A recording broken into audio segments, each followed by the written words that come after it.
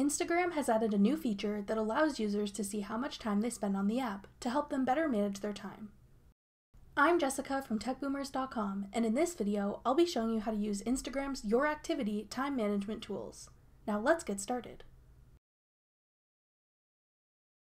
To access the Your Activity section, open Instagram and tap your profile icon in the bottom right corner.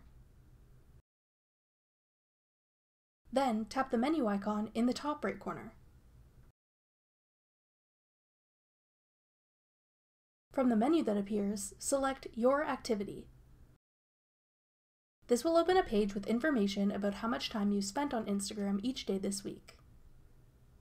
Your daily average time spent on Instagram will be listed near the top. To see how much time you spent on the app on a specific day, tap the blue bar above the day for which you'd like to see your time spent on Instagram.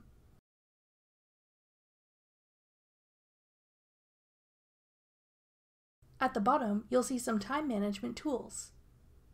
To set a time limit for yourself and get a reminder notification once you've hit your daily time limit, tap Set Daily Reminder.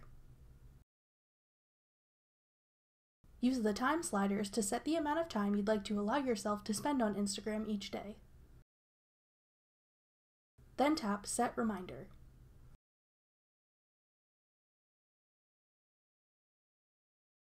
To make yourself less likely to open the Instagram app, you may want to edit your notification settings. Tap Notification Settings at the bottom to access them.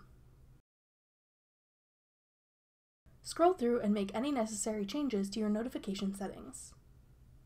If you turn off certain types of notifications, you'll still see your likes, comments, and messages once you open the Instagram app, but you won't receive push notifications on your device, prompting you to open the app and potentially waste time scrolling through it afterwards.